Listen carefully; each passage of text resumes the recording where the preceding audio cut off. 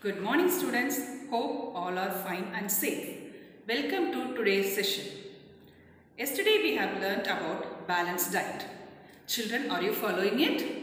Yes, we must follow the balanced diet to strengthen our immune system. Let's move on to today's topic. Dear children, look at this. I have kept this milk packet and dry chili here. Now what would happen if I keep these two items for the whole day? The next day can I use this milk? No. So what will happen? The milk get spoiled. But this dry chili does not get spoiled. Have you noticed your mom keeping milk packets in refrigerator? Do you know why? To preserve it from spoiling it. Yes, today our topic is food preservation. Let's move on to our topic food preservation. First let's understand what is preservation. Preservation is a process that keeps organic things from decomposing and spoiling it. Why we need to preserve the food? Air and moisture help germs to grow on food. So preservation helps to stop the growth of germs and helps to preserve the food for later use. Let's move on to the various methods of food preservation. They are drying method, pickling method, refrigerating method, deep freezing method, canning and bottling method. Let's start discuss each method of food preservation in detail. First we look into the drying method. In drying method, food is preserved by removing the water content in it. It is one of the oldest method of food preservation. We can find many examples for drying method in our kitchen itself. Look into this.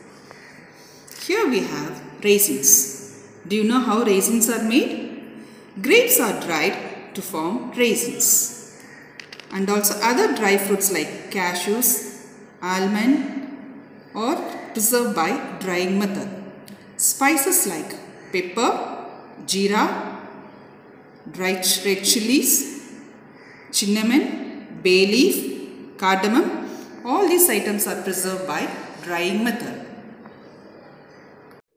In pickling method, food items are mixed with salt and oil to preserve it. Here, salt is acting as a preservative agent. Example for pickling method is pickling of lemon, mango and other vegetables.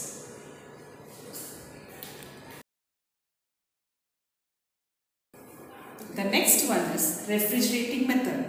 From the name itself we can understand that in this process food items are stored in cold temperature like refrigerators in our homes.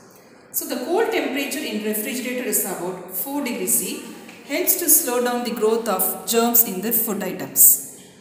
Example, we can store fruits, vegetables and cooked food items to preserve it for a short period of time that is for 3 to 4 days. In hot summer days, we all like to eat ice cream, isn't it? Yes. So where we will store this one?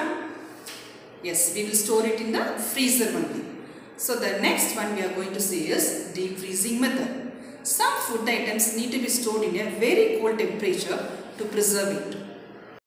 Deep freezing method helps to preserve the food for a longer time. See there are some examples. We can preserve meat, fish, vegetables and ice cream in deep freezing method.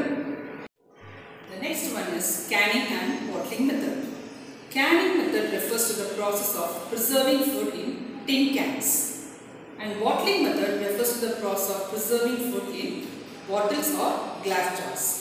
In this method of canning and bottling, cooked or processed food items are preserved in glass jars or bottles and sealed tightly in a proper way.